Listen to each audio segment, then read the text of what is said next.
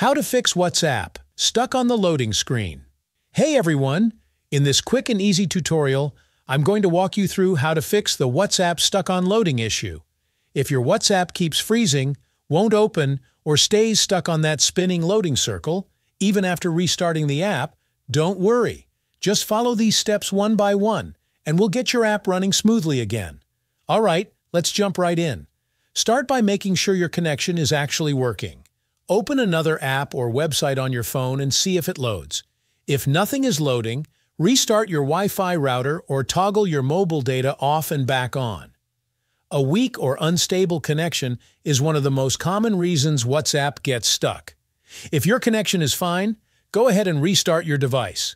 A simple reboot clears out small system glitches that might be causing the app to freeze or not load properly.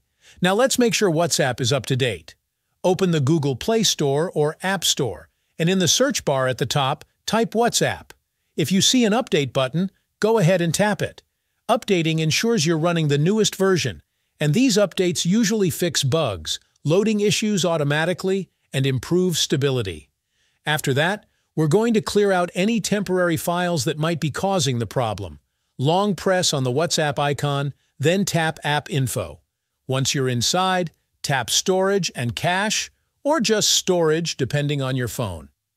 Now tap Clear Data, then choose Clear Cache and Confirm. Don't worry, this won't delete your WhatsApp account or messages as long as your chats are backed up.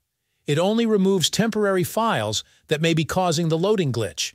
Now go back one step and tap Force Stop, then confirm by pressing OK. This completely closes WhatsApp so it can restart clean the next time you open it. Once that's done, go back to your home screen and restart your phone one more time. When your device turns back on, open WhatsApp again. At this point, the stuck loading screen problem should be fully fixed, and your app should open normally. If nothing has worked so far, the next step is to completely reinstall WhatsApp. Uninstall the app from your phone, then download and install it again from the Play Store or App Store. A fresh install often fixes deeper issues that updates or cache clearing can't. If the issue still isn't fixed, you can reach out to WhatsApp support for further assistance. They can help diagnose any account or device-specific problems. And that's it.